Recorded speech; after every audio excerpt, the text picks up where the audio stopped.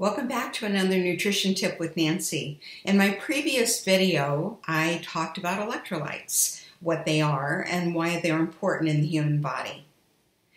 Today, in this video, I want to tell you about replacing them and whether or not you need to worry about replacing them.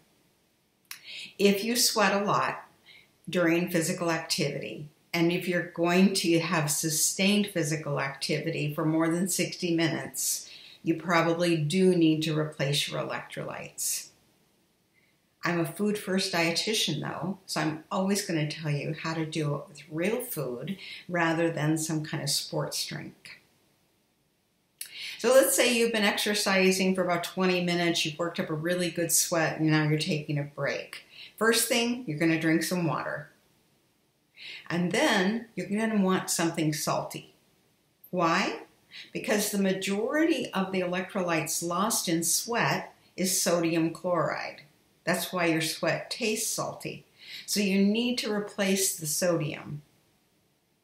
My favorite way to do that is by taking some small tomatoes, I like the Campari type of tomato, and salting them, and then eating maybe a quarter of a tomato, a half a tomato, and that will help then replace the sodium lost in the sweat.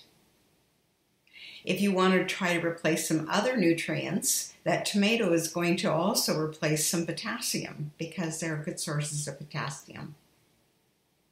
You can also try a handful of salted nuts. You could have some kale chips. Kale chips are generally salted, and then kale is also a source of calcium, and it has a small amount of potassium.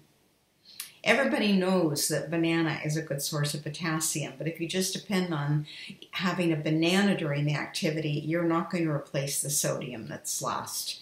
You really do need to focus on having that sodium replacement as well as some of the other nutrients. After you're completely finished exercising and you want a recovery thing, maybe a cup of yogurt with some nuts, seeds, those are great ways to replace calcium and potassium.